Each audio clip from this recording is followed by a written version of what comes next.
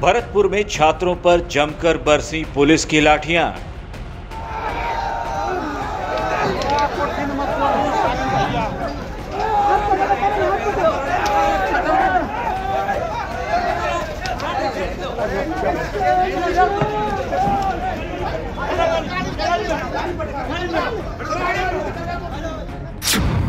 महाराजा सूरजमल विश्वविद्यालय में छात्रों पर लाठी चार्ज। प्रशासन मुर्दाबाद। अरे सरकार मुर्दाबाद।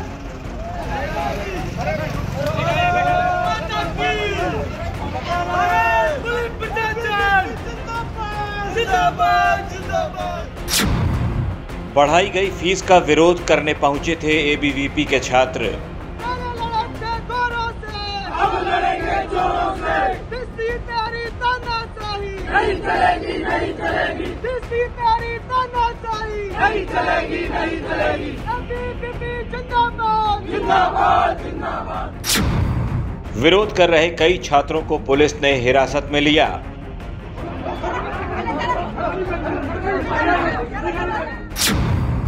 छात्रों ने विश्वविद्यालय प्रशासन के खिलाफ जमकर नारेबाजी की अरे काला प्रशासन मुर्दाबाद अरे राष्ट्र सरकार मुर्दाबाद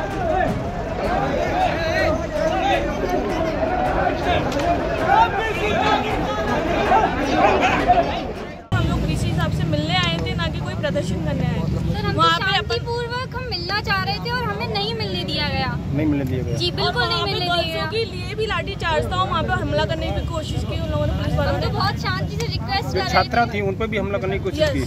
अच्छा अच्छा। सर ये तो हमारा अधिकार है कि हम बीसी से मिल सकते हैं जाके। हमें अगर हमें कोई समस्या है पर हमें नहीं जाने दिया गया और हमें भगा दिया गया एटलीस्ट वहाँ से कि आप जाइए यहाँ से। आप और ये इस साल नहीं हर साल होता हुआ आ रहा है जिस टाइम हम लोग पिछले साल जीते थे उस टाइम भी बीए में ये परेशानी आई थी कि वहाँ के सभी साथ जो बीए में फेल कर दिए गए आपको कौन सा पद है AVP में आपका? एबीपी में महासचिव कांग्रेस सरकार जब से प्रदेश में आई है और यहाँ से पे जब बीसी आया है रमेश चंद्रा जी कांग्रेस के संरक्षण में तब से लेकर आज तक विद्यार्थियों के हित में ही कुलपति ने काम किया है। डेली फ़ीस वृद्धि को बढ़ाने लेकर नए नए फरमान कुलपति के द्वारा जारी किए जाते हैं।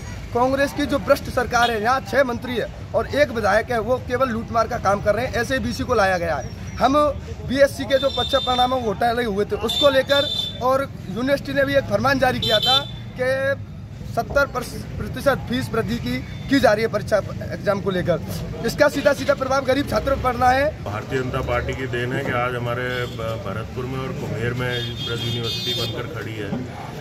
इसमें वीसी साहब द्वारा लगातार छात्रों के हितों को ध्यान में नहीं रखते हुए मनमानी करके एक अपना हुक्म चलाने का काम उनके द्वारा किया जा रहा है। फ़ीस के अंदर वृद्धि की गई, जो कि बिल्कुल भी लाजमी नहीं है। सारे जो स्टूडेंट हैं, सारे ही उससे प्रताड़ित हैं और उसके खिलाफ उन्होंने आज अपनी आवाज़ उठाई तो उसको कांग्रेस सरकार द्वारा दबाने का काम पुलिस प्रशासन द्वारा उन बच्चों के ऊपर लाठी चार्ज कराकर और उन बच्चों को अरेस्ट कराकर काम करने का काम इस कांग्रेस सरकार द्वारा किया गया है।